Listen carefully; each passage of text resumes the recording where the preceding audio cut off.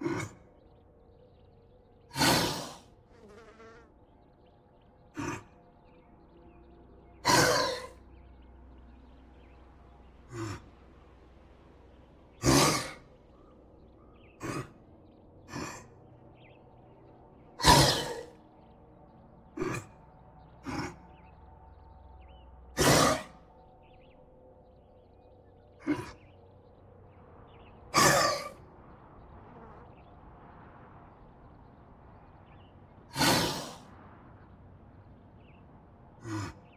zombie infestation is kind of like cancer.